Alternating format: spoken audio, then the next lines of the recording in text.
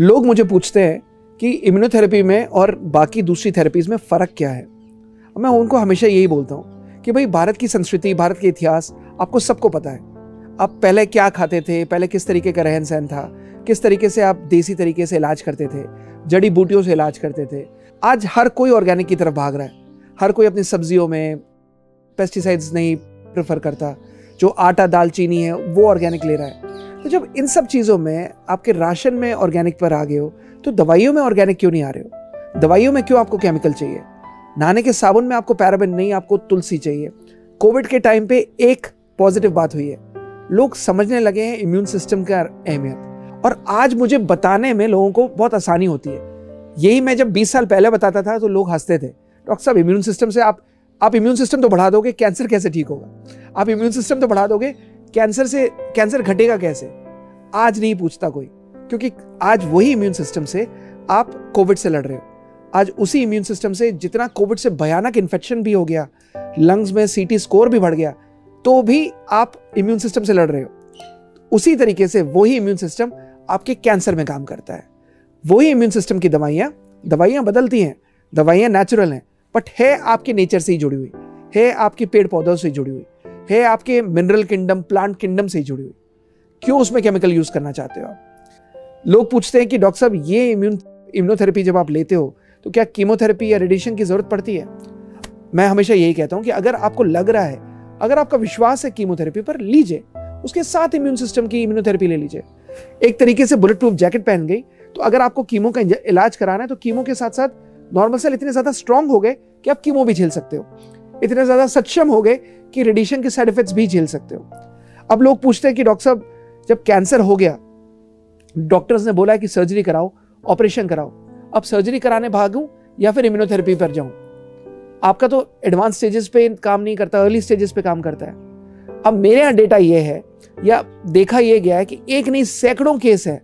जब हमारे पास हर कोई हार कर, टूट कर, सब पैसे लुटा कर, सब तरफ़ से निराश होकर हाँ तब हमारे पास आता है। और तब वो सोचता है, डॉक्टर साहब, ठीक तो हो जाएगा ना। मैं हमेशा कहता हूँ, भाई, धैर्य रखो पेशेंस रखो। एंड भगवान ने चाहा, अगर ऊपर वाले ने उम्र दी है और अगर इलाज सही है तो ऐसा होता नहीं कि आप ठीक ना हो। इलाज सही है, वो मेरा जिम्मा है, बताना। आपको बस अपना माइंडसेट स्ट्रांग रखना है। आपको बस एक उम्मीद पॉजिटिव रखनी है। आपको अपनी नेगेटिविटी से दूर रखना है। अब इम्यूनोथेरेपी काम किस तरीके से करती है? फ़र्ज़ करिए कि आपकी कोई जगह पर दुश्मन ने कब्जा कर लिया। और धीरे धीरे करके वो अपनी ताकत बढ़ाता जा रहा है और आपकी जगह को घेरता जा रहा है। सेम उसी तरीके से आपके शरीर में कैंसर फैलता है जकड़ता है धीरे धीरे करके अपने एरियाज़ फैलाता जाता है जिसको हम मेटास्टासिस भी कहते हैं। अब इसी तरीके से अब इसको मारने के दो तरीके हैं दुश्मन के। पहला हम इतनी तेज़ी पावर से कोई बम गिराएँ या कुछ आ, उस पर अटैक करें कि वो धीरे धीरे करके शरीर को भी डैमेज हो और साथ ही साथ दुश्मन भी मर जाए। ये तरीका हो गया कीमोथेरेपी का।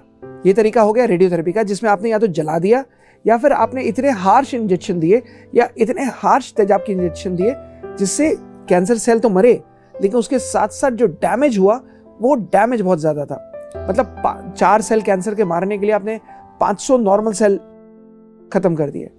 ये कोई वायबल तरीका नहीं है, ये कोई वाइज तरीका नहीं है। दूसरा तरीका है कि एक जैसे देश के सैनिक होते हैं, जब वो जंग पर लड़ने जाते हैं तो आप उनको बुलेट प्रूफ जैकेट पहनाते हो हेलमेट पहनाते हो, पूरा अस्त्र शस्त्र देते हो, सारे आर्म्स एंड एम्यूनिशन देते हो, ताकि दुश्मन से जब वो लड़े तो वो डैमेज ना हो।